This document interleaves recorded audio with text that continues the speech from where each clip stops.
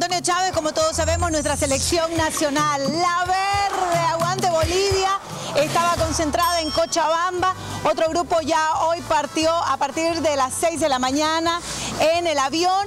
Y por supuesto nosotros tenemos que decirles, aquí está, vamos a pedirle un minutito a Meleán rápidamente porque está haciendo todo su registro, su check-in, felicidades por ser nuevo. Ahora papá, él ya pasó a los casados, ahora ya también tiene el bebé.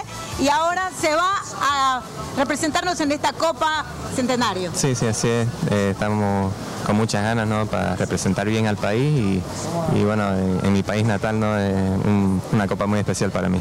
Bueno, contanos un poquito, recién terminó todo este tema de la liga, de los partidos, cómo está el ambiente, cómo has visto estos primeros días de entrenamiento. No, bien sí, son pocos días que tenemos de preparación, pero, pero ya nos conocemos entre todos los jugadores, eh, conocemos la idea del profe Olivieso y, tenemos que, estar bien unidos ¿no? para conseguir algo importante como lo hicimos en la Copa anterior.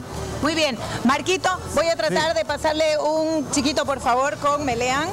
Vamos a hacerlo aquí todo en vivo. Ahí está, agarre por favor. Aquí está. Ahora sí, Marco Chávez. Bien. Meleán, eh, primero que nada, felicitarte por la convocatoria, felicitarte por el matrimonio y por el bebé. ¿Cómo se llama el bebé? Se llama Alexia. Alexia, la, bebé entonces. Sí, sí. Bien, un saludo a tu, esposa que te está viendo seguramente ahora en el Mañanero. Eh, si es que está durmiendo, porque Alessia a veces no deja dormir.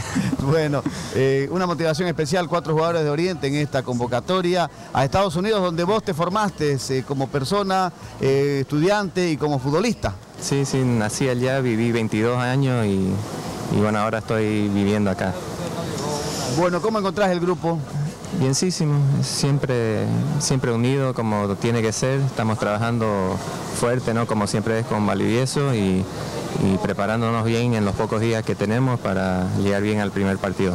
El Medvedev y Duke se incorporan en Estados Unidos. Duke viene de marcar con el Cosmos, está jugando en la liga en la segunda división, pero palpa lo que es la Copa América. Sí, así es. Duke creo que ha metido goles en amistoso antes de, que empiecen los partidos oficiales, así que... Hizo un gol oficial recién también. Sí, su primer gol oficial lo vimos. Bien, que les vaya bien, eh, buena representación y a meterle eh, mucho cañemo, que es lo que necesitamos en Un abrazo. Chao, gracias. mientras, eh, Marquito, mientras también vamos a, pedirle a... Carlos Lampe estaba por ahí. Carlos Emilio Lampe. Lampe, un segundito, por favor, disculpanos. Lo que pasa es que por el tema de seguridad la aerolínea nos pidió que no nos acerquemos mucho, pero muchas gracias. El hombre de dos metros, como le digo, ¿cómo has visto ya las selecciones que se han preparado, como Chile, como Ecuador? Y nosotros, lastimosamente, no tenemos mucha preparación con toda, toda la parte de los jugadores. Sí, seguramente no tenemos mucha preparación, pero, pero bueno, ya este proceso viene desde que comenzó la eliminatoria nos conocemos, se ha, tratado de aprovechar los pocos entrenamientos al máximo y bueno, eso, eso más sumado las ganas que vamos a tener, la convicción, la fe, el trabajo, yo creo que va a ser que hagamos una gran Copa América. Hay mucha esperanza. Mostrarle las manos. Estas manos son las que no van a dejar que los balones ingresen. Ahí está el papá mirando, es su fan número uno, la mamá, los hermanos. Bueno, Marco Chávez, adelante, lo escucha. Claro, Lampe, felicidades. Antes que nada, te va a tocar enfrentar a Argentina. Ya la jugamos en eliminatorias.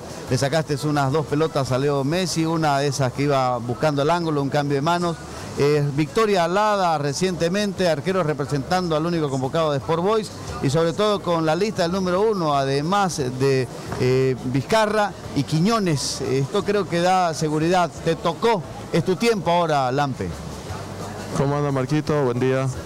Bueno, la verdad que uno primero quería estar entre los 23, ahora ya todos queremos estar entre los 11 y bueno, una vez estando entre los 11 uno, uno quiere consolidarse. Estas copas no se juegan todos los días. Sabemos que es el gran salto que podemos dar los jugadores para, para poder tener más jugadores en el exterior y que tengan un nivel más competitivo que el que tenemos aquí. Entonces vamos a meterle duro. Esta vez tenemos que ganar la Argentina. No sirve de nada si, si nos va bien personalmente, si grupalmente no conseguimos el objetivo. Bueno, están creo un poquito apurados en el check-in. Eh, los demás, ¿qué hicieron? Vinieron de La Paz, se incorporaron, se dividieron en grupos, ¿no? Para llegar a, este destino de viaje a Estados Unidos. No, no, Marquito, todavía. Muchísimas gracias, Lampe, muy amable. Estamos a nivel nacional, le cuento, Gilmavi, estamos conectados con Asbel Valenzuela, que está en la ciudad de La Paz, que ha hecho el seguimiento de cerca también a la selección boliviana en los días de trabajo en Cochabamba, el paso por La Paz, trabajo en Cochabamba, el paso por La Paz y la continuidad. Adelante, por favor, ¿con quién más tenemos? La estrella, con que todos lo quieren en Oriente Petrolero, aunque no es uno de mis favoritos del club, pero sí lo estimo mucho, Marvin Bejarano. Así que, Marvin, estamos a nivel nacional con Asbel Valenzuela, con Marco Antonio Chávez en el Mañanero. ¿Cómo están los ánimos, teniendo en cuenta de que ustedes no han podido concentrar con la selección, ya que estaban en Cochabamba? Ahora este grupo viene de La Paz. Bien, bien, la preparación obviamente no, no, no fue el tiempo adecuado que, que uno espera. Uno espera siempre más, sabemos que las potencias mundiales no necesita mucho trabajo por, el ritmo que tienen, pero bueno, eh, a ponerle el pecho y hacer bien las cosas. Muy bien, les voy a pasar por favor chicos para que le puedan hacer la consulta a Marvin, porque yo le decía cómo estaba de su lesión, sabíamos que él estaba en recuperación, ha estado también habilitándose para poder quedar entre los convocados. Sí, así es. Eh, hubo una lesión de por medio, no me dejó jugar los últimos partidos, pero gracias a Dios estamos recuperados un 100%.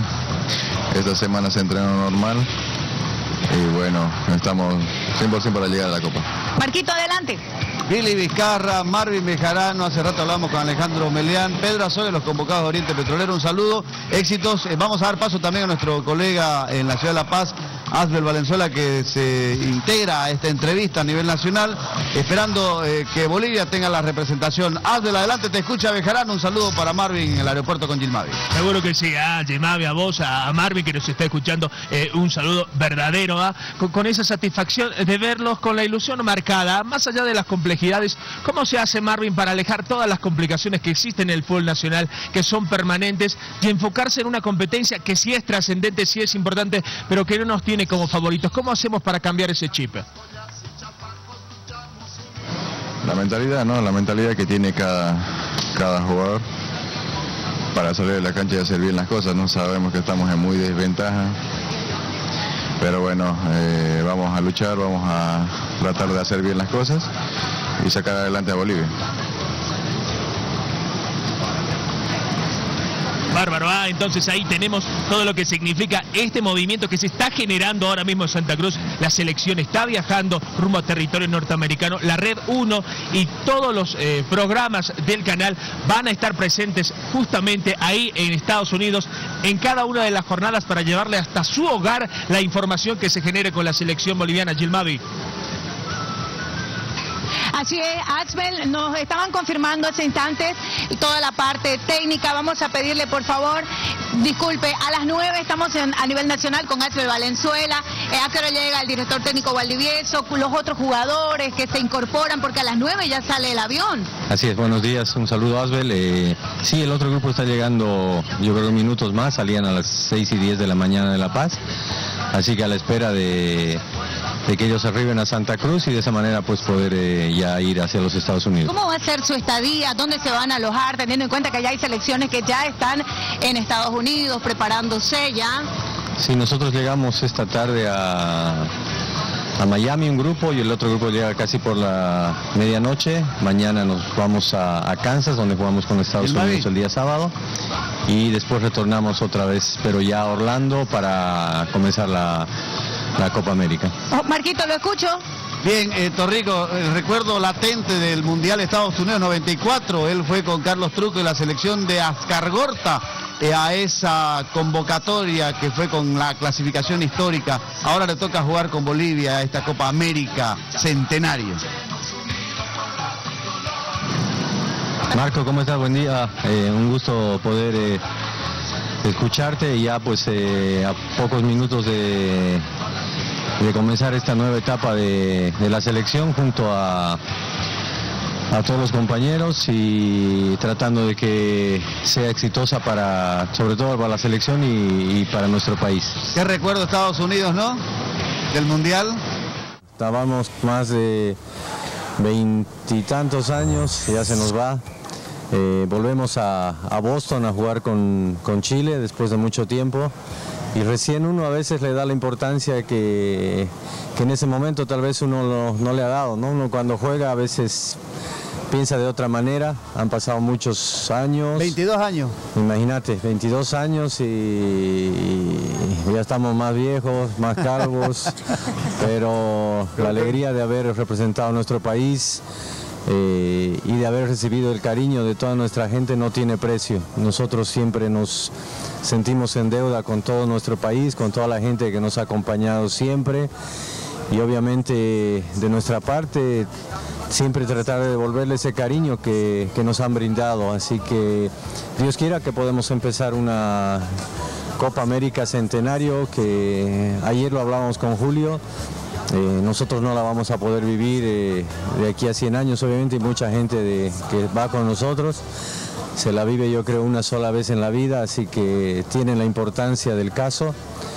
Ojalá que podamos eh, hacer una buena Copa América. Eh, ¿Se solucionó el tema de los jugadores que no los prestaban, de que los iban a hacer esperar? Sí, sí, gracias a Dios ya ha sido todo solucionado. Están los 21 jugadores porque Yasmani y Martín se incorporan con nosotros en Estados Unidos. Y así que los que Julio y el cuerpo técnico ha tomado en cuenta, pues ya partirán el día de hoy desde Santa Cruz hacia Estados Unidos. Muchas gracias, Torrico. Lamentablemente se baja del carro, por eso que quedan 22 el chico Galindo por un tema de lesión, pero bueno, ya está la selección que les vaya bien. Éxito, gracias a Gilmavi Díaz también en la unidad móvil a jugar el amistoso con Estados Unidos y el 6 a debutar con Panamá en la Copa América Centenario. Después otros rivales como Chile y Argentina. Nos vamos a la pausa.